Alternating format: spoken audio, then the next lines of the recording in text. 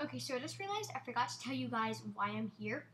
Um, I'm here because Thursday, regular Thursday, doesn't have internet, but tomorrow, which is Friday, which is my day, she is going to have internet, so she just asked if we could switch, and so we did, and that's why I'm here. So now onto the video, which I apologize for. So yeah, but guys.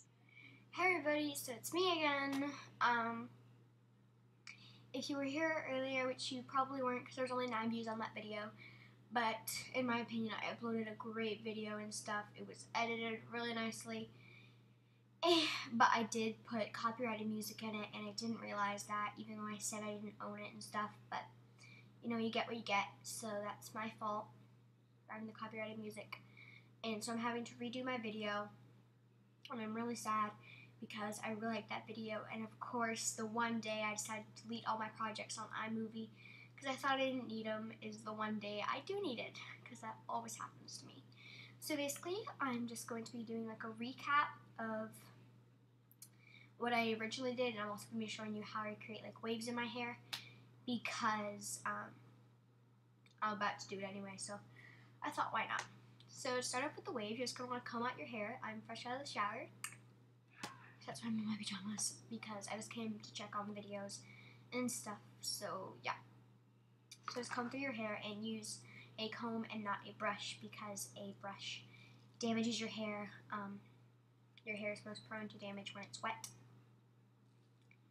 And also use a detangler if you have to. I just don't have one right now, so just comb through your hair. Okay, so now that that's done, I'm going to apply two hair products. One of them is the Not Your Mother's Smooth Moves Hair Con- Frizz Control Hair Cream. And since your hair is like wavy, it's going to be a little frizzy and like staticky, so that just helps with that. And then I'm also going to be applying the Paul Mitchell Express Style round, round Trip Liquid Curl Definer. And this is just going to, I know I'm not putting in curls, but it's like a form of curls. So this is just going to like really define them, which is like the name says. So I'm just going to apply these evenly throughout my hair and kind of like avoiding the very top of my hair so that my hair doesn't get greasy. And so now I'm going to take this product, which is the Nexxus Salon Hair Care Pro-Mend Split End Binding Targeted Leave-In Treatment Cream, and I'm just going to apply this to the ends of my hair.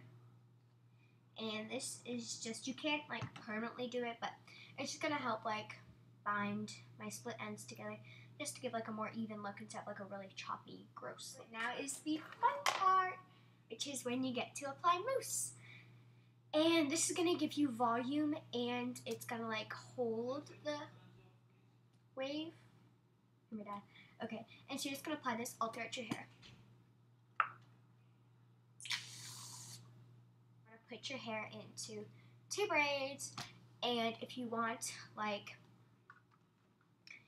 really wavy hair, then you can do just like little chunks like this big and rubber band it with like these teeny tiny rubber bands. But um, to get my look, I just do two rubber bands or like two braids. So I'm just gonna do, and luckily my hair like parts in half. So just kind of braid your hair. And so now my bangs get my way. So I just like to use a headband to pull them back. And so now you're just gonna sleep by like this, and by the morning your hair should be dry. And if it's not, you can just like quickly run a flat iron through your hair, and that's also gonna kind of like lock it in. And yeah, and also on the Paul Mitchell bottle it says it's for wavy hair types too. So okay, so now for a recap of like DIY hair things. So the first way is how to reuse your old Bath and Body Works hand sanitizer bottles. And do I have one near me? No. Um, but basically, you're just going to want to peel off both, both labels. And then you're going to want to use a product called Sticky Out from Elmer's. There's also Goo Gone. I don't know what brand it's from. But um, this just like removes anything like sticky residue wise and like labels, crayons, labels, most glue, stickers, tape, oil paint, rubber, cement, and more. So it's just going to take all that out, and then you're going to be left with like a clean, flat surface. And then you're going to fill the little bottle up with your shampoo or conditioner, Or if you like used a product like this, you could also put it in. Um, but not like mousse because this actually turns to liquid after a while. It's really gross. and then to make a label, you're just gonna want to cut a piece of paper and then write shampoo, conditioner, whatever it is, on it, and then just tape it to the bottle, and then you're done. And to get the product out, you're just gonna want to like squish it like you would with your regular shampoo. And I was just thinking about this earlier, but you can also do it with your lotion bottles and get like enough product for a week, like a mini lotion bottle. So this is actually what I'm going to be taking on my little mini vacation for my birthday. I'm going for a weekend, so this will be um, good. But if I was going away for like a week or maybe even two, I would use a mini lotion bottle. And so to create a DIY bobby pin holder out of your old body mist bottles, first off you're going to want to cut off this piece and then this piece you can just like you can just take off and then you're going to want to keep this piece because you're going to like put it on top and I think it's just easier. And so you can just like stick your bobby pins in through here and then whenever you want some bobby pins, you can just empty them out into your hands. Shaking. So that's super simple. And now I'm again just gonna put like a like piece of text, like in a clip of what um,